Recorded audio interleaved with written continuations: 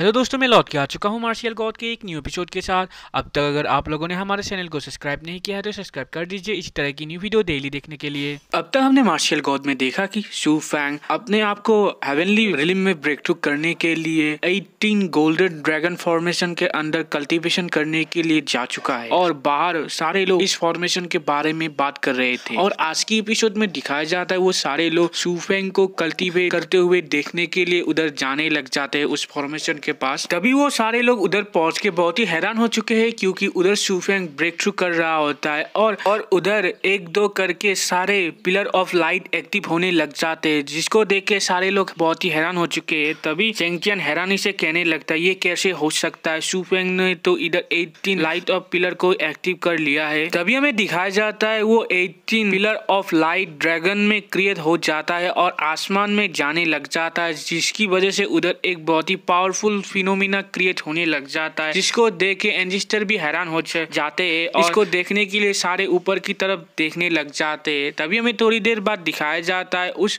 Formation में एक बहुत ही बड़ा धमाका हो जाता है और उधर बहुत ही धुआ ही धुआ हो जाता है।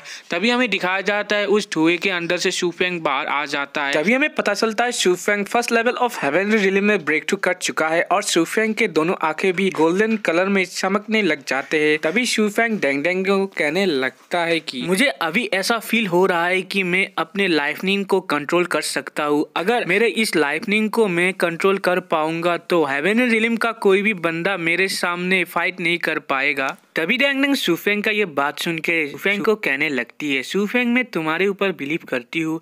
अभी नहीं तो फ़िलहाल तुम इस लाइफनिंग के कंप्लीट पावर को कंट्रोल कर पाओगे।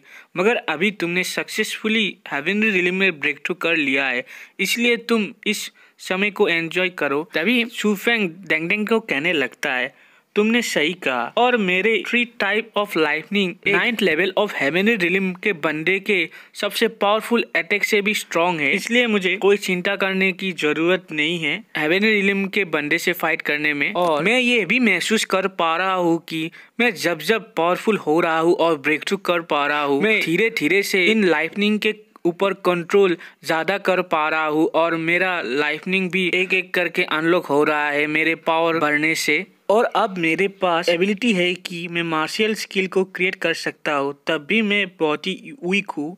इसलिए मैं अभी सीनियर का मार्शल स्किल को सीखूँगा और बहुत सारा एक्सपीरियंस गेन करूँगा।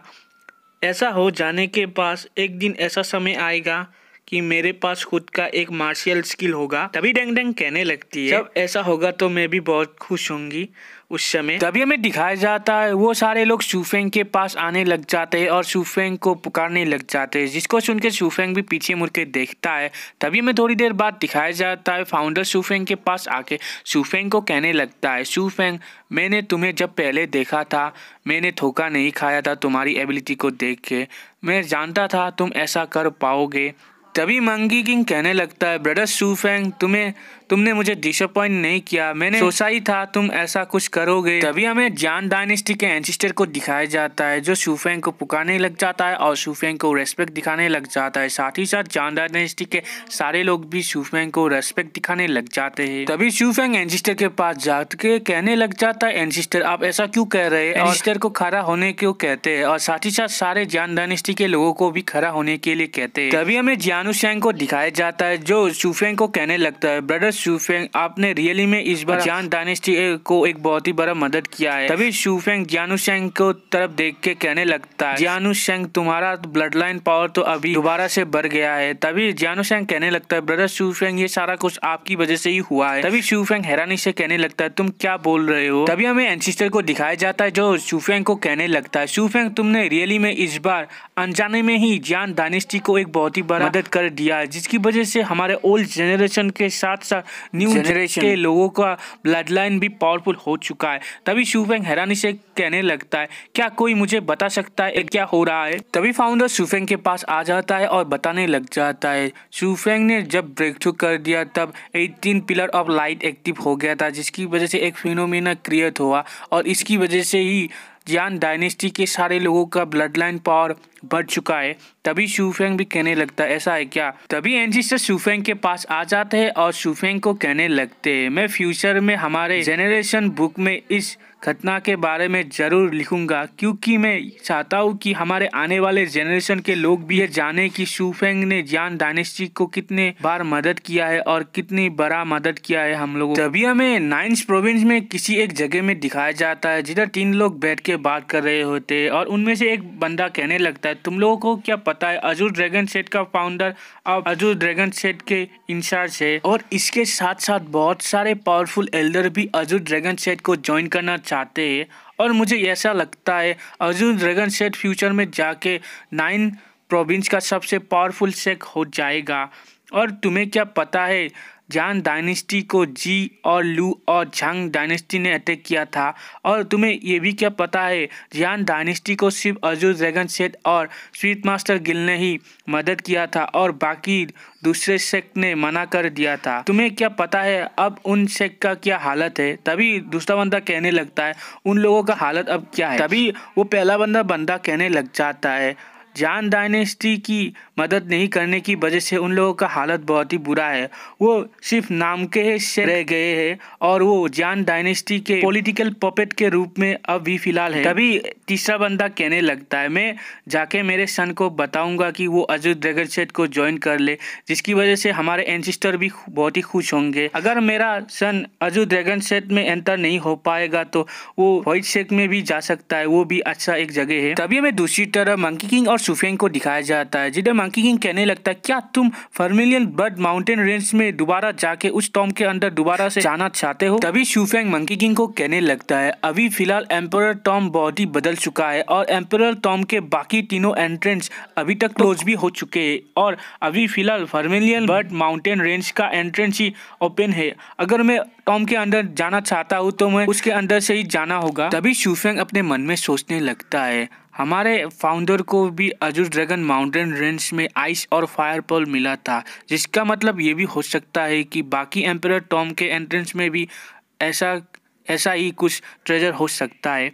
तभी दूसरी तरफ़ दिखाया जाता है मंकी किंग कहने लगता है सू फेंग तुम क्या उस आदमी के साथ, उस टॉम के अंदर जाना चाहोगे? और अगर वो आदमी फिर से अपने आप के ऊपर काबू नहीं कर पाएगा तो तुम्हारे ऊपर ही खतरा हो सकता है। इसलिए तुम एक बार सोच के देखो। तभी शूफेंग मंकी किंग को कहने लगता है ब्रदर मंकी किंग आपको इसके बारे में चिंता करने की कोई ज़रूरत नहीं है क्योंकि उसके आद, उस आदमी के ऊपर मैं बिलीव करता हूँ। अगर वो आदमी मेरे साथ एम्पर टॉम के अंदर जाएगा तो कोई भी मुझे उधर रोक नहीं पाएगा।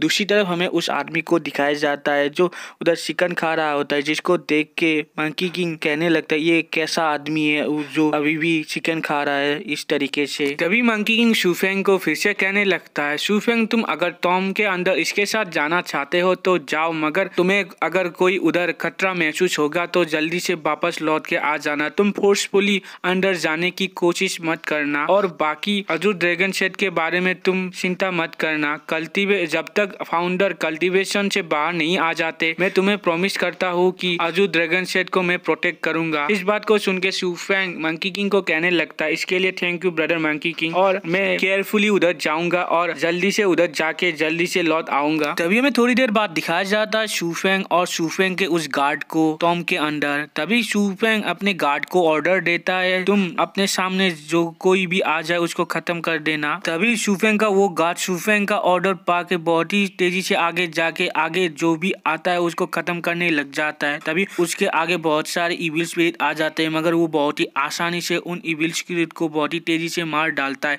जिसको देख के शूफेंग बहुत ही हैरान हो जाता है और कहने लगता है, ये कितना पावरफुल है, जो इतने पावरफुल इविल स्पिरिट को भी सोते कीड़े की तरह मार रहा है। और इसके साथ साथ इधर तो बहुत सारे फॉर्मेशन भी है, मगर ये इतनी आसानी से इन फॉर्मेशन को भी तोड़ रहा है। तभी थोड़ा आगे जाने के बाद शूफेंग को उधर बहुत सारे स्पिरिट फॉर्मेशन एसेंस मिलता है, जिसको देख कर शूफेंग सोचने लगता है, इधर तो बहुत ही अजीब हो रहा है, इधर सारे बैरियर भी डिस्ट्रॉय हो चुके हैं और इधर बहुत सारे इविल स्पिरिट भी नहीं है। और जो इधर है, वो सिर्फ़ गार्ड ही कर रहा है, जिसको सुन के डेंग डेंग कहने लगती है। ये बहुत ही सिंपल है। ये डिटरेंस की वजह से हुआ है। तभी शूफेंग कहने लगता है ये डिटरेंस क्या है? और इधर ही हमारा आज का एपिसोड एंड होता है। वीडियो अच्छा लगा तो लाइक शेयर और कमेंट कीजिए। और आगे क्या होने वाला है, उसको जानने के लिए हमारे चैनल को सब्सक्राइब कर दीजिए। थैंक यू और वीडियो कैसा लगा इसके बारे में कमेंट कीजिए।